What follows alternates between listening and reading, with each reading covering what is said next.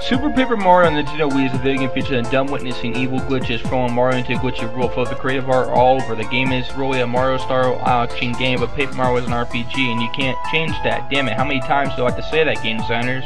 It's like skipping anime, it doesn't work. The game features great music, trash silently in background, fun little minigame monopoly selections. This game does pack fun, but there's also boring parts, and I fall flat on this one, and still pick Paper Mario Thousand Year Door or Nintendo 64 version over this one.